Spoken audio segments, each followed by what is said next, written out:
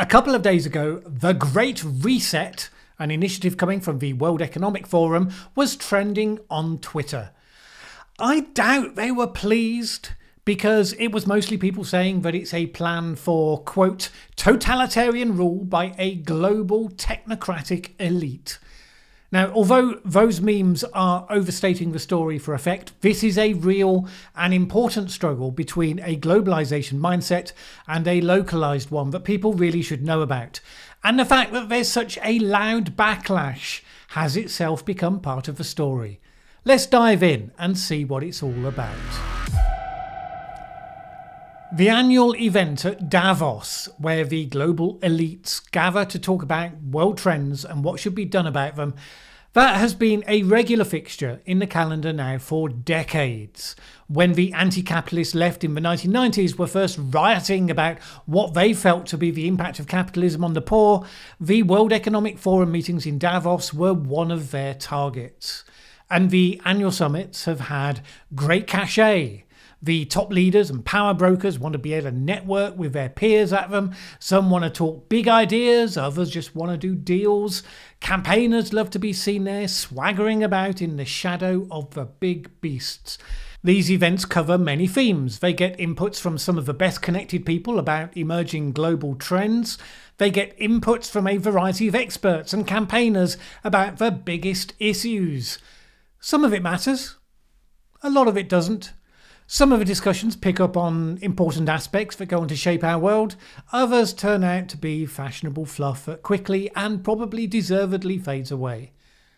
But the basic principle that people in charge of governments, global corporations, and the like, that they should have a forum where they take an interest in the well being of the wider community and ask what positive difference they should make, I can't argue with that. In theory. What we're finding out now is that while many might accept that it's a good thing in principle, as the backlash to globalization has grown, so too have suspicions that such gatherings might not be able to be trusted to arrive at conclusions that are wholly benign. And even if the intentions are benign, although those suspicions may have attached themselves to some outlandish caricatures based on decidedly non benign designs, they're neither irrational nor baseless. And I say this gently because a lot of people have become utterly convinced that the worst reports are true. Let's talk briefly about the most alarmist versions that have been circulating.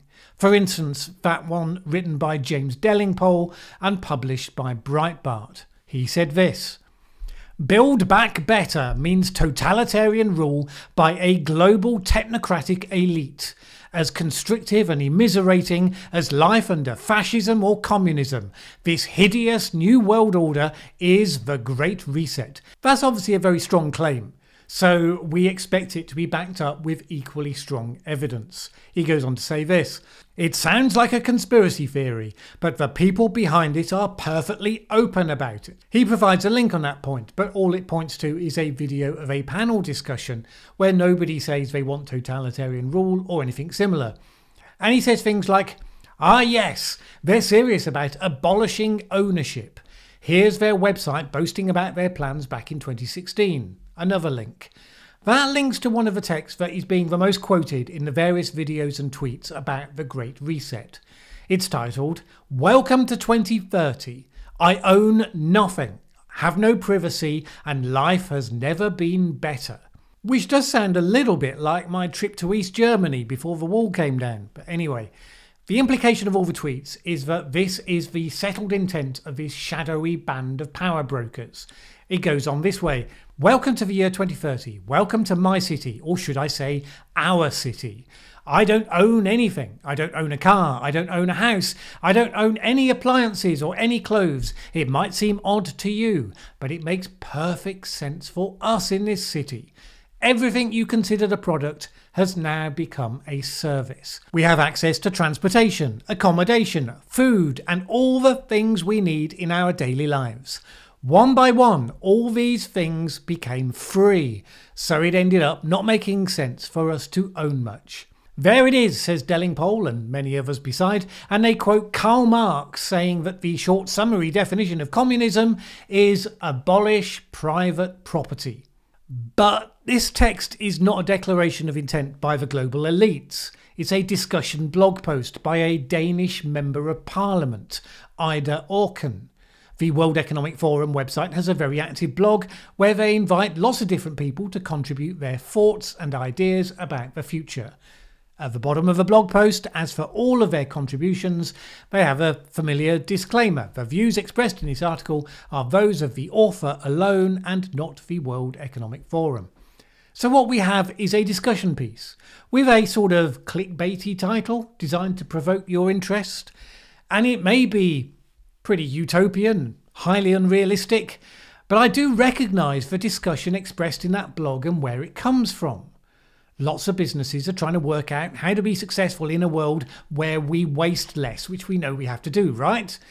We have seen the tech revolution provide a number of models where this has happened by changing the process of owning a thing to one of paying for a service. It already happened when it comes to music. My generation bought albums, vinyl, and then CDs. I know, I'm really old. We owned them. We resisted for years the idea that we should pay instead for streaming services because we wanted to own our music. But eventually, you notice that for the price of one CD per month, you can listen to anything that you want to, whenever you want to listen to it, which is actually a better service. So it becomes the norm. Nobody thinks it's particularly communist in principle. Neither that blog poster nor the World Economic Forum, from anything that I've seen, and if I've missed anything, then let me know, is suggesting that that process should be or could be imposed on people from above. And as we know, such models will only work if what they offer is demonstrably better than what they're replacing. You could see that it could work in, for instance, fashion. In the West, the average number of times that a woman will wear a garment that she buys new is seven, just seven after which it goes to the back of the wardrobe, never to be seen again. You could see in that situation how it might make sense to be able to hire the highest quality, fashionable dresses that you want. Then, after you've worn them a few times, you swap them for the next thing. And the lure is that you're wearing really high quality, fashionable clothes, but all for a low monthly subscription. Would that work? Well, maybe. Only if it made sense to the customer and they wanted it. Would it count as the abolition of private property? Well, no. But you can see why people would think so because of the blog title and the fact that so many people look at her blog post and see a vision of a deeply dystopian future. That tells you that it clearly wouldn't go that far. But it's a typical future forecasting blog post. When people write such things, they look at current visible trends and then they make the mistake that the, uh, the trend's going to keep going in a straight line and soon will encompass everything. It's not really how those trends work, obviously. There's no logic why it would ever apply to your home ownership, for instance. So it's not a very insightful blog. But you know, not actually evil. One of the things that has people convinced that there really is some underground coordination comes from the emergence of the phrase build back better. The rationale of the Great Reset in the context of a pandemic is that the crisis has created huge disruption, unarguable, and destroyed a part of the status quo. We shouldn't let a crisis go to waste. Now is the opportunity to build back better. Figures on both the left and the right have used it. Joe Biden used it as his campaign slogan. That Twitter flurry a couple of days ago came because Justin Trudeau used it, along with the Great Reset in a short video of his. Boris Johnson used it. The Prince of Wales used it. Neither of those are figures that you would associate with a global communist takeover. The question is is this really evidence of a common plan? Or is it evidence of an attraction to a positive sounding phrase, appropriate for the time, but really could mean anything that you want it to mean? Do we really think that when Boris Johnson says we should aim to build back better, he means the same as what Justin Trudeau means? What about President Macron or Angela Merkel? Macron, Merkel, and Trudeau were all part of an event that was themed as Building Back Better. So it's not a surprise that there's video footage of them referencing the theme of the event they're speaking at. Politicians, like business leaders, attend these sorts of events and cherry pick whatever makes sense to their situation and whatever they think will work with their particular audience. To take a single phrase or a couple of phrases and translate a common reaction by influential people to the power of a very vague concept and turn that into a global conspiracy to specifically abolish private property on a Marxist agenda. And figures on the left and the right and inherited monarchy to boot, they're all going to sign up to it. Let's just say I would need a little bit more concrete evidence than anyone's been able to give me so far. So, what does the principal author of The Great Reset mean by it? Even if the cartoon version isn't right, are there things that we should be alarmed by or at least arguing against? In his book, COVID 19 The Great Reset, Klaus Schwab puts forward his ideas around the context of his thinking and what he means by the Great Reset. It's probably reasonable to look there and see if we can take this to a different level of discussion. As always with these videos, we go in without preconceptions, looking to the substance. And bear in mind, Schwab has spent a couple of decades at the heart of a network that pulls together a lot of the world's leaders and thinkers. He's been in on a lot of interesting conversations. So even if he came to conclusions that we would disagree with, the journey should be quite an interesting one. All right, he starts off talking about three prevailing forces that he says are shaping the world. One, interdependence. Because of technology and international travel, plus global trade, our systems are more tied together than ever before, which is kind of unarguable. Two, velocity. Because of the same technology and globalization, things now move faster than ever before. There's a culture of immediacy. That can be seen in how quickly crises and social discontent can spread, how technology gets adopted, how information spreads, and of course, also how the latest infectious disease spread. And this has effects impatience, pressure for decision makers to move before all the information is known, and so on and so on. And then three, complexity. Complexity he defines as what we don't understand or find difficult to understand. Complex systems are often characterized by an absence of visible causal links. Predicting their behavior becomes virtually impossible. Tracing causes for why things have happened, likewise. So far, those are all things most of us would recognise in the world as it is today. Then he introduces the changes that he thinks are coming economic reset, societal reset, geopolitical reset, environmental and technology resets. And this is a lot about how consequences will flow, not specifically about their proactive agenda. He then talks about the economic impact that COVID has had and is likely to go on to have and speculate about whether an economic reset is needed to cope. And we become a world unlike the world of the past. We saw a rapid growth in population and technology. If the future is going to be marked by a more stable population, as seems to be the case, then does GDP growth continue to make sense as a measure of progress? He asked the questions What should the new compass for tracking progress be in a world that doesn't grow in the way that it used to? What will the new drives of a more inclusive and sustainable economy be?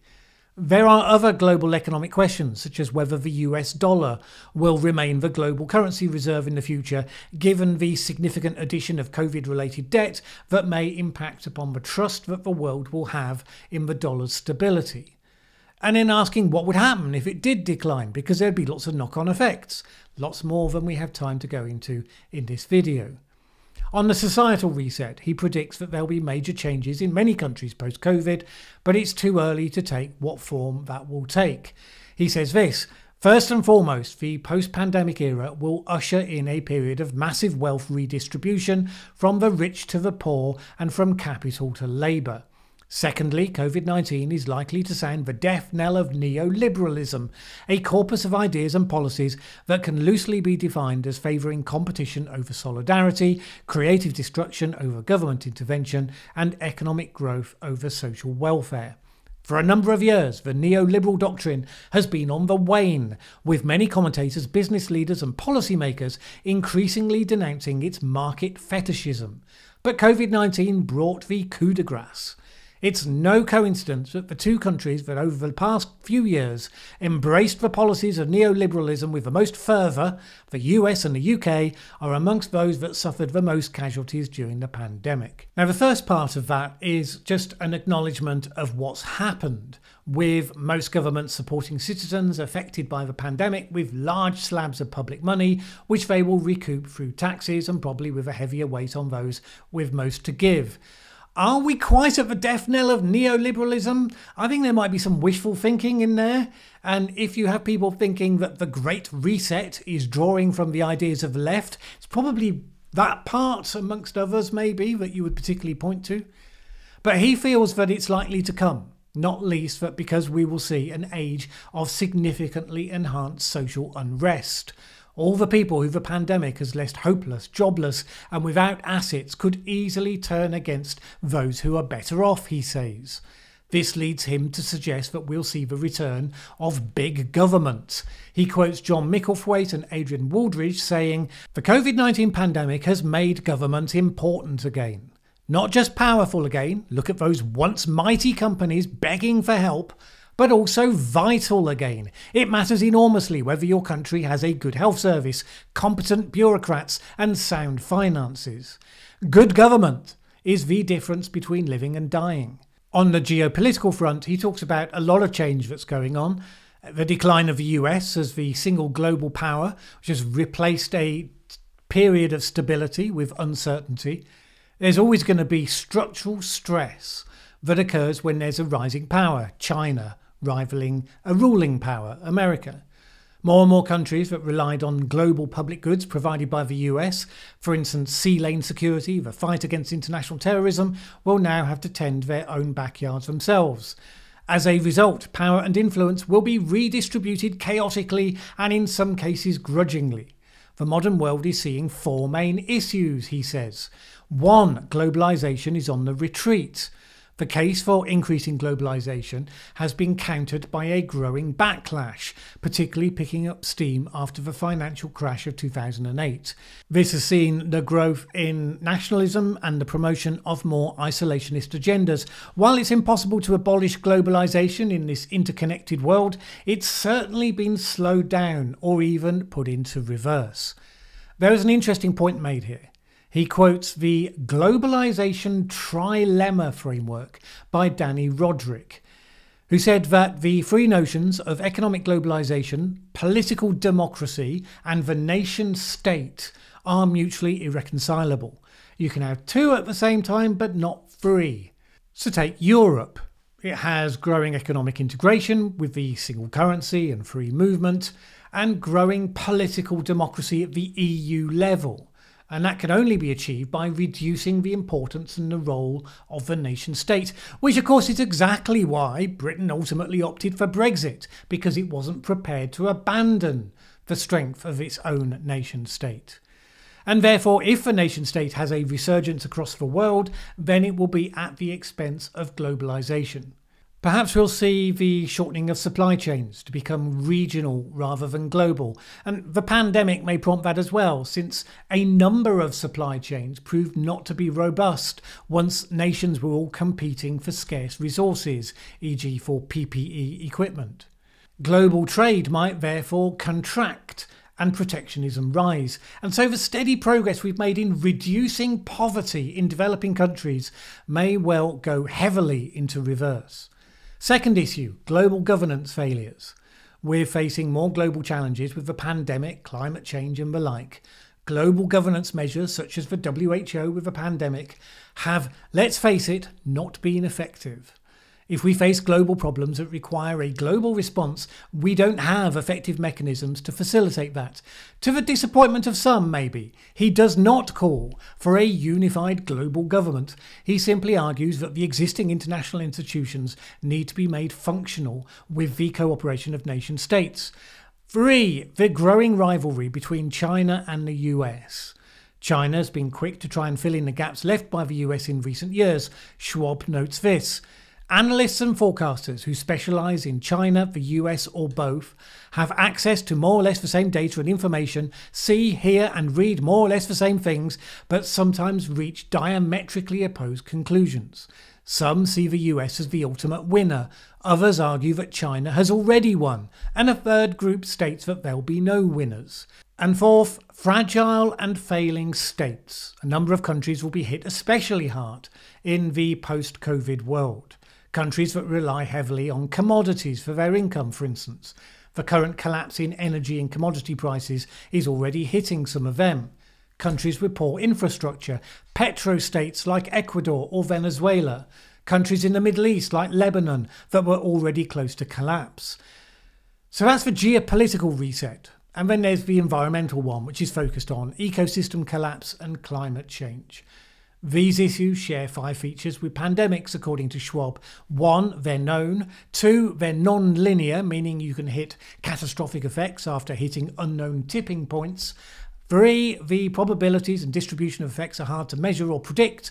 Four, they're global in nature, and he says they can only be addressed at a global level.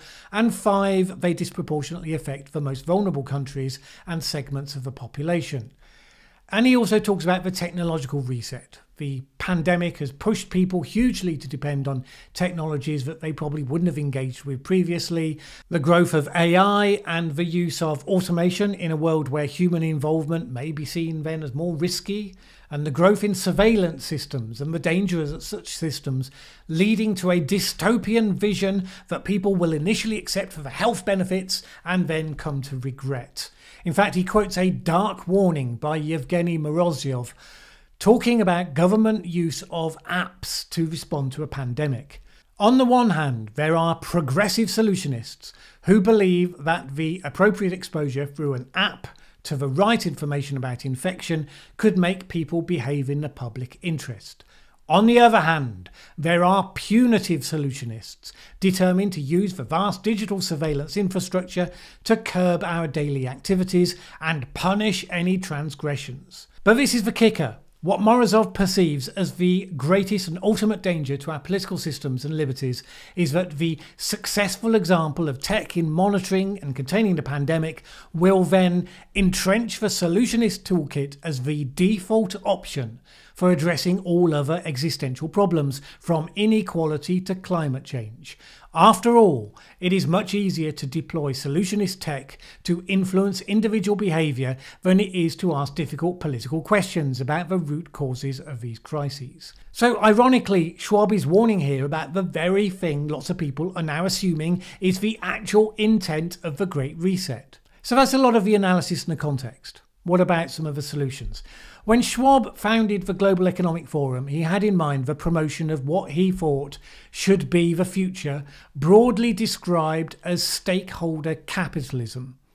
Again, this is a label that some people have distorted in the telling, but it comes as a part of a world that I inhabited for the last 20 years of corporate responsibility. So here's the short version. The premise, my words, Capitalism has been the most successful creator of wealth in history. It's a crucial driving force in our future success, but no system's perfect. And the problem with corporate capitalism is that companies have incentives to offload the cost of their negative impacts onto others. So a company makes a profit with a polluting process. It pockets the profits, we, the taxpayers, end up paying to clean up the pollution. So the real question is this can you adapt the model, tweak it? So that companies behave more like citizens, taking the responsibility as well as the benefits of what they do.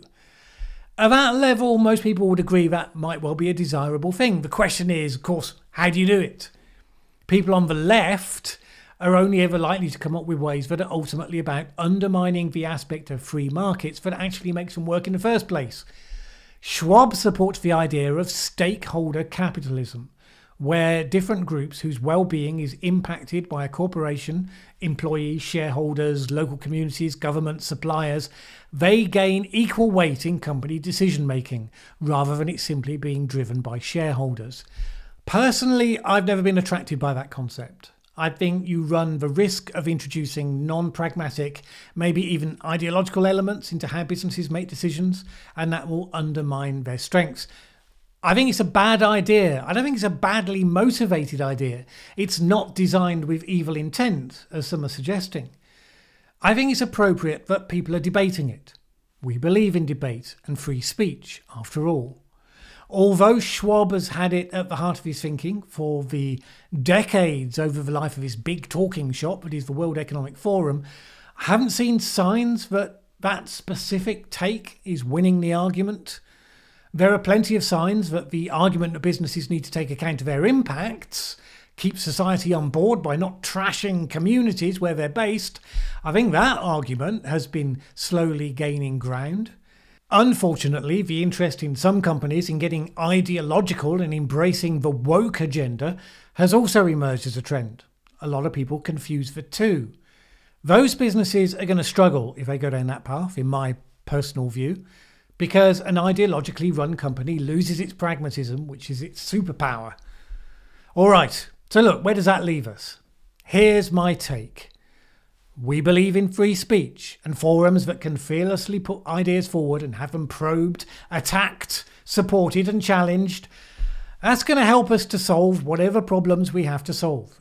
And I think the World Economic Forum is and should be part of that. It's a fine talking shop, so long as it remembers that it's just a talking shop. Caroline Casey, the amazing legally blind woman I interviewed for the podcast, who challenges big corporations to pr- properly provide opportunities for people with disabilities in the workplace. She is just one of those who I know has used a platform at the World Economic Forum to engage some of the people that matter in a debate on what they could do better. Those things are the bulk of what happens there, and that's a good thing. However, the message that globalization is in retreat is an important message. I don't agree with Klaus Schwab that the emergence of global problems can only be addressed with a globalist mindset. Indeed, every instance we've ever seen of centralized power for a large population or geography tends towards inefficiency, out of touch leadership, bureaucracy, corruption. All things that are unhelpful in the face of a problem to be solved, let alone a crisis. And there is a crisis of global governance. And it's largely created by the vehicles for global governance, for WHO, the UN, and all the rest, because indeed they are inefficient, out of touch, corrupt, and weighed down by bureaucracy. Simply wishing that they were more effective won't turn them into trustworthy vehicles for action. Unfortunately, by dressing up the resistance to globalist elites as absurd accusations of global Marxist conspiracies, just makes it easier for those that have a globalist mindset to see those dislike ratios on the World Economic Forum YouTube channel and dismiss it as just another ridiculous conspiracy theory. I say that knowing full well this video might get a similar ratio, by the way. Won't be the first time, probably won't be the last. At some point, we're going to have to learn to walk and chew gum at the same time. There are times when we do need to think globally. That doesn't mean we want a global government. People in charge absolutely need to stay in touch with the people that are proud of their country and embedded within their community. How those people feel and what they need. You need the localist mindset. In this modern world, with all its technology and knowledge, you'd think we might be able to aspire to do both. Right now, it seems to be either or. And that is a real conflict of values that won't just go away.